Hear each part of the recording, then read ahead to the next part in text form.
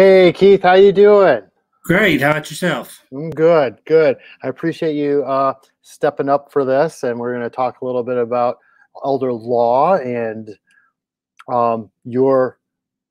I don't know if this was your second or third Deucey Award, but you're a repeat Deucey Award winner, and so we'll get into that. But anyway, I want to introduce Keith Morris. He's president of Elder Law of Michigan.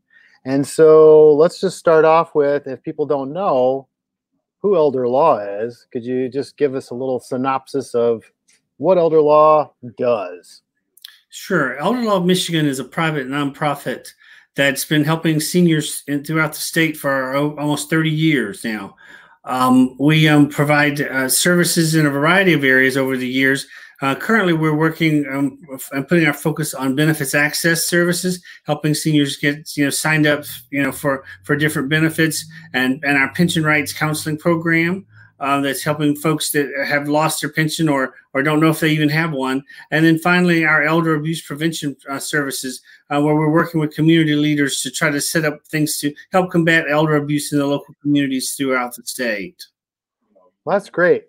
And one of the programs that we're really going to be focusing on today, which is what the video is about, um, is your MiCafe program that you've been rolling out over the last few years. Could you talk a little bit about what MiCafe is?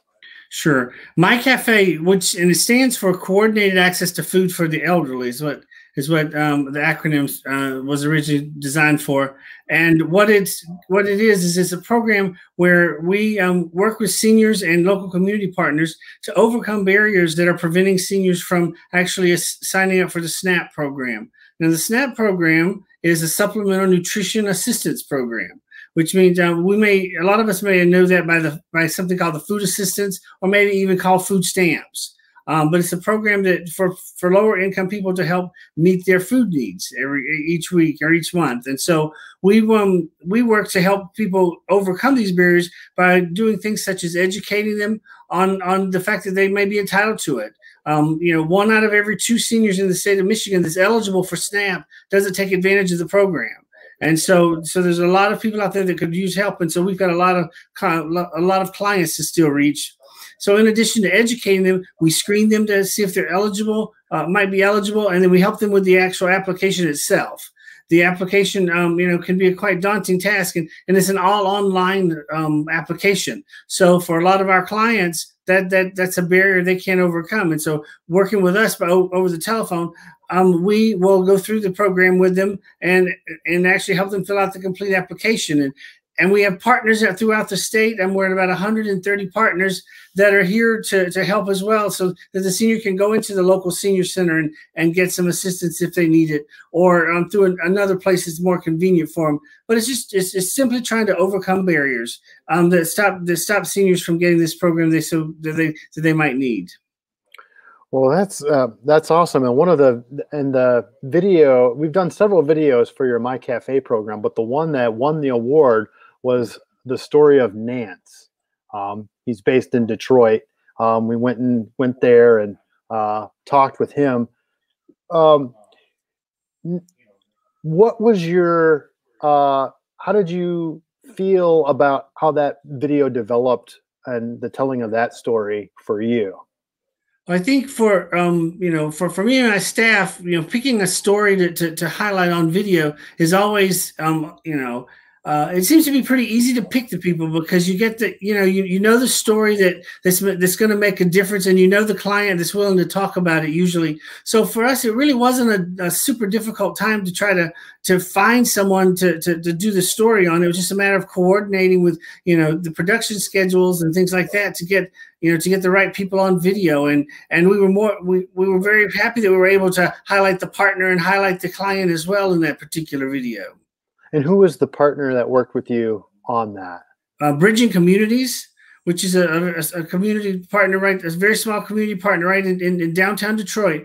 They work with a, very, lot of very low income seniors and low income people in general, but they, they work with seniors as uh, you know uh, as a focus, and and so that's why um, we they've been our partner for for a good number of years, and and um, we've always found it, uh, that they do a great job in helping their clients get all the benefits that they're entitled to, which includes MiCafe. My Cafe is just one of the simple one, one of the sample, um, one of the sample benefits that they that they use to ha- that they're trying to help for their clients. Awesome. And so, what did you how how did you like the video? What was uh, what did you like most about the result and having us tell this story? You know, what I liked most about it was the the fact that, that we took it from the different angles. Um, you know, we looked, looked at it from the client's angle for a bit there. We looked at it from the partner angle for a bit there, and then we looked at it from the MiCafe angle for a bit, and and how all that was blended together. You guys did a great job of of, of trying of telling the story, not just one, not just from one side, but from all the sides for the people involved. And I think it, it really turned out well. And how did the video because it got a lot of traction. I mean, it, it won the vote. So, mm-hmm. uh, how did how did you feel like the video helped you in in telling this story, moving it moving it past just creating it, but putting it out there?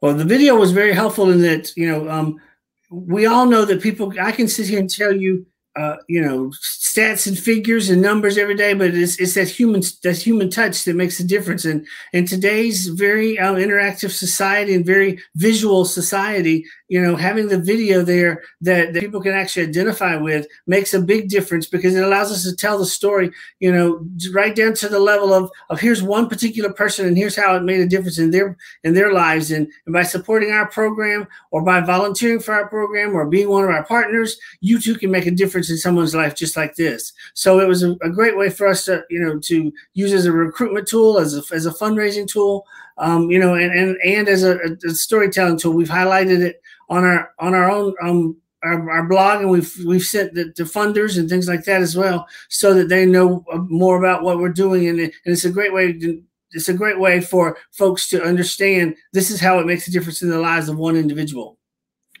Well, like I said, this is not your first rodeo on winning a Deucey Award. I know that everybody laughs when I mention that, but you know what? It it's it's uh talk to me a little bit about winning the award for for this time around. well, of course, it's always an honor to, to, to win any type of award. Well, I should say any type, but it, it's always an honor to, to you know to know that, that people are um, out there, you know, who voted and, and, who voted, and they saw this as something that was, um, you know, worthy of recognition. Uh, so, so we feel very, you know, very grateful that it was that the video turned out so well, and, and that and that people really are are identifying with the stories that we're trying to tell. And so, you know, we, are we're very appreciative to to UnoDeuce for for for creating such a good story that or creating such a good video that we can work on. Nice. And so, what what's uh what's what's in the plans for elder law going forward? I know that we're in the middle of a pandemic, and so some things may have changed. But so what? What are what are some new things that we can look forward from when it from elder law?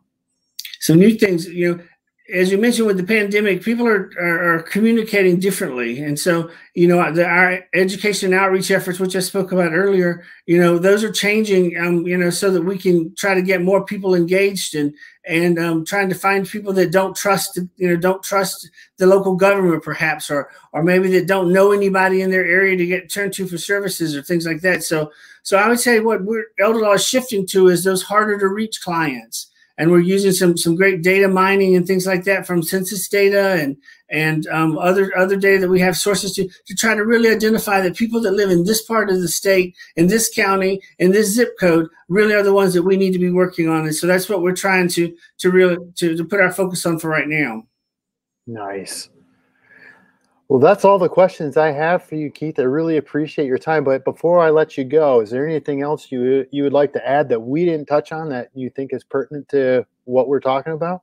The only thing I would say is, is thanks for being a, a video production company that understands nonprofits and the challenges that we have to make. So that, that so I really I applaud you guys for that and and, and you know and thank you very much for that because it makes it a lot easier for us. Excellent. Well, once again, Keith, appreciate you coming on. Appreciate the things that we're able to do for you and you, you seeing what we can do. And thanks for being a great partner. So, um, have a wonder, uh, you know, uh, and have a good weekend. And I will uh, talk with you next time. All right. Sounds good. All right. Take care. All right. Thanks.